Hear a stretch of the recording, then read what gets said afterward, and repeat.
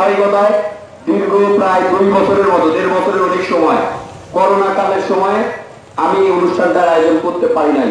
এখন যেহেতু করোনা প্রায় ফাইভ পার্সেন্টের নিচে চলে এসেছে, আমি চেষ্টা করছি আপনাদের সামনে আবারও হাজির হওয়ার। আপনারা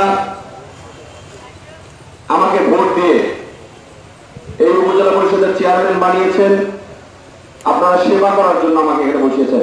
আজকের এই অনুষ্ঠানে উপজেলা পরিষদের সরকারি দপ্তরের কর্মকর্তাবৃন্দ, এখানে বিভিন্ন গোয়েন্দা সংস্থার প্রতিনিধি আছেন আটগুলা চারটা ইউনিয়ন আওয়ামী লীগের সভাপতি, সাধারণ সম্পাদক।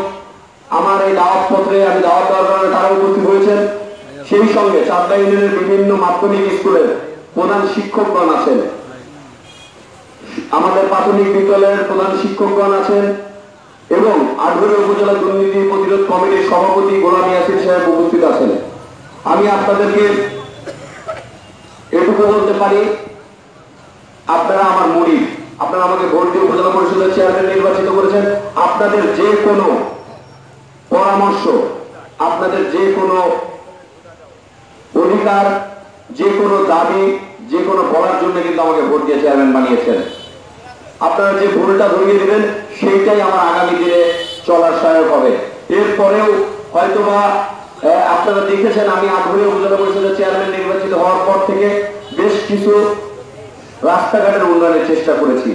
আমি দুই একটা জিনিস না বললেই নয়, এই করোনাকালীন সময়ে আমি কিন্তু মানুষের দ্বারে দ্বারে সরকারি অনুদানের বাইরেও আমি একটা সেবা চালু করেছিলাম, সবজি নিয়ে দিয়েছিলাম এটা আমার একটা উদ্দেশ্য ছিল, এটা যেন সারা বাংলাদেশে মডেল হয়। কারণ আমার আটগড়িয়াতে সবচেয়ে বেশি সবজি এবং মাছ চাষ হয়। আমার সেইটা বিভিন্ন প্রিন্ট ইলেকট্রনিক মিডিয়ার মাধ্যমে প্রচার হওয়ার কারণে এটা কিন্তু পরবর্তীতে সারা বাংলাদেশে অনেক জায়গাতেই দেখা গেছে সহায়তা করার জন্য। আর আজকের করোনার সময়টা, প্রথম যখন করোনা আসলো, সময়টা কিন্তু একরকম ছিল না। তখন আমরা একজনের জানাজায় হাজির হতাম না, আমরা একটা মানুষকে দেখলে যেতাম না। তার পরবর্তীতে আমার মনে হলো, সমস্ত কাজ সরকারের নয়। ব্যক্তিগতভাবে আমাদেরও কিছু কাজে এগিয়ে আসার দরকার আছে। আমি উপজেলা পরিষদের চেয়ারম্যান নির্বাচিত হওয়ার পর বেশ কিছু প্রাথমিক বিদ্যালয়, মাধ্যমিক বিদ্যালয় পরিদর্শনে গিয়েছি। যেখানে যে ত্রুটি পেয়েছি, চেষ্টা করেছি সমাধান করার।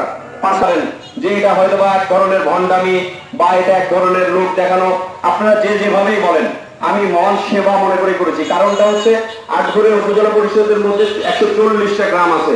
আমি উপজেলা পরিষদের চেয়ারম্যান হিসেবে একশো চল্লিশটা রাস্তা ভাঙলে আমার পক্ষে মেরামত করা সম্ভব নয়। রোপণপুরে রোপণপুরে কিছু রাস্তা এইভাবে সংস্কার হয়েছে। রোপণপুরে এইভাবে আমাদের যুবক সমাজের প্রায় চল্লিশ পঞ্চাশ জন বিভিন্ন সময়ে আমি রাস্তা সংস্কার করার একটা অন্যতম উদ্দেশ্য। এবং আমি যখন এই কাজ করেছি, আমার বয়সে যারা যুবকরা, তারা এগিয়ে এসেছে। রোপণপুর একটা গ্রামে তারা গ্রামবাসী মিলে, আমার যুবক ভাইরা মিলে সত্তর হাজার টাকা তারা নিয়ে তারা আমাকে এই চেয়ারটাতে দিয়েছেন আমরা যারা মুসলমান আমরা কিন্তু নামাজ পড়ি, নামাজের মধ্যে কিন্তু একজন মজ্জেম থাকেন, একজন ইমাম থাকেন। তারা কিন্তু আমাদের পথ প্রদর্শক, তারা কিন্তু আমাদেরকে দিন দেখান। আপনারা এই অল্প বয়সে আমাকে ভোট দিয়ে উপজেলা পরিষদের চেয়ারম্যান নির্বাচিত করেছেন। আমি যদি আপনাদেরকে এই চলার পথটা সঠিক মতো না দেখাই, আমি মনে করব আমি মন রাব্বুল আলমীর কাছে ঋণী হয়ে থাকলাম, আপনাদের কাছে ঋণী হয়ে থাকলাম। সেই চলার পথে আমার যে কোনো ভুল, আমার যে কোনো কাজের অন্যায় কাজ যদি আমি করে থাকি, আপনারা প্রশ্ন করবেন, আমি সেই প্রশ্নের উত্তর দেওয়ার জন্য প্রস্তুত আছি আমি আমার সাধ্য মতো আমার এই সময়কালীন আমি কাজ করার চেষ্টা করব।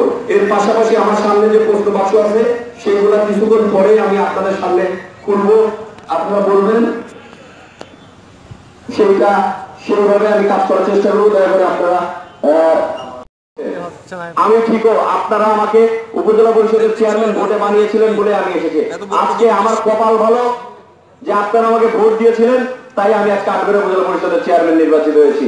না হলে আমি কোনো লাঞ্চ সাহেব হইনি বা আমি এমন কিছু হইনি যে আপনারা আমার চাকর আমি আপনাদের মনে কারণ মানুষের কাছে দায়বদ্ধতা ভোটের দায়বদ্ধতা মানুষের কাছে দায়বদ্ধতা সামাজিক দায়বদ্ধতা।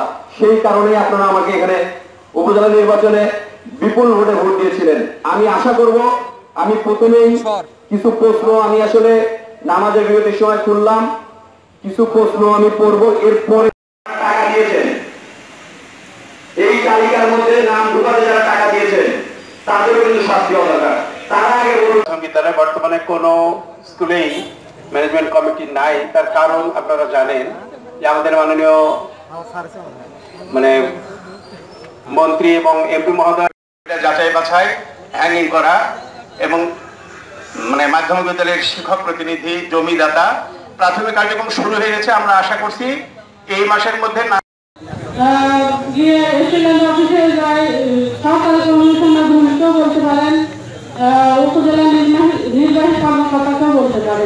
এক্ষেত্রে আমার কোনো যদি আপনি অভিযোগ এর সাথে আমি সরাসরি সেখানে জবাব দেবো এই খেলার বর্তমানে হচ্ছে ভূমি উন্নয়ন কর নেওয়ার জন্য সরকার একটা ডিজিটালাইজেশন করতেছে আসতে হয়। এগুলো নিয়ে গেলে আমরা আমাদের টাকা অপারেটর আছে আহ, তারা হচ্ছে এই রাস্তাটায় এক কথা মোটর সাইকেল বলেন বা যাই বলেন এটা ফ্যানও নিয়ে যাওয়া যায় না।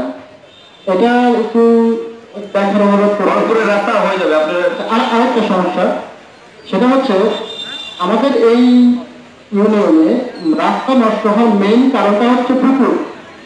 এবং সেক্রেটারি কাপড়া হাত করার সময় সম্মানিত উপস্থিতি, সম্মানিত উপজেলা চেয়ারম্যান সম্মানিত উপজেলা চেয়ারম্যান আপনাকে ধন্যবাদ এবং সাধুবাদ জানাই এত সুন্দর এবং অনাড়ম্বরপূর্ণ একটি অনুষ্ঠান উপস্থাপন করার জন্য।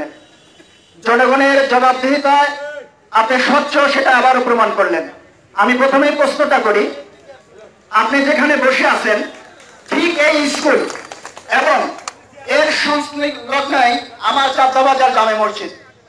এই মসজিদ সংলগ্ন থেকে একটি ফোর ফোরটি লাইন মেইন তার এই বিল্ডিং দুটার উপরে দিয়ে চলমান হয়েছে। আমরা মসজিদ কমিটির তরফ থেকে এবং স্কুল কমিটির তরফ থেকে আমরা ইয়েতে গিয়েছিলাম। ওই আপনার এই উপজেলা এলাকা সাব অফিসের এলাকা, বিদ্যুৎ অফিসে। সেখানে যাওয়ার পরে আমরা এই কার্ডটি স্থানান্তর করার জন্য তাদেরকে বিশেষভাবে অনুরোধ করি এবং দরখাস্ত দেই। তারা আমাদেরকে আশ্বস্ত করেছিল এবং বিভিন্ন অজুহাত থেকে পরবর্তীতে এই কাজটি করেনি। এখন আমাদের বিশেষভাবে প্রয়োজন এই কার্ডটি না সরালে ভবিষ্যতে এই স্কুলটি দোতলা করতে হবে এবং আমাদের মসজিদের অ্যাকোমোডেশন জায়গা আর হচ্ছে না, মুসল্লিদের প্রচুর পরিমাণের চাপ বেড়ে গেছে।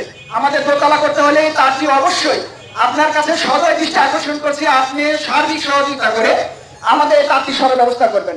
সেই সাথে আমার দ্বিতীয় প্রশ্ন, এইখানে আমি কান্তাবাজার সমাজের সেক্রেটারি হিসাবে আমার কাছে একাত্তর ঘরের আমি একজন সদস্যের সেক্রেটারি আমার কাছে অনেকে অভিযোগ করেছে। অভিভাবক হিসাবে। আপনার কাছে করজোরে মিনতি করি। মাননীয় প্রধানমন্ত্রীর তরফ থেকে এটা কত ইয়ে- ইয়ে আছে?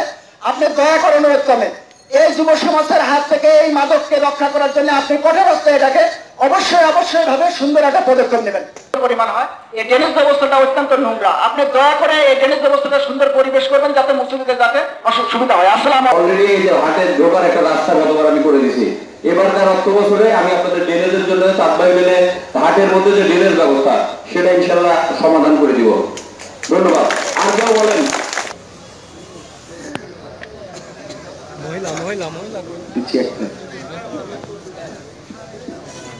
এমন কোনো কিছু নাই। তারপরও আমি অনুরোধ করব এই অনুষ্ঠানের মাধ্যমে যাদের পাশে রাস্তার পাশে পুকুর আছে আপনারা নিজেদের পুকুরটা অন্তত মেরামতের চেষ্টা করুন আপনারা পাইলিং করার চেষ্টা করুন। আমাদের আজকে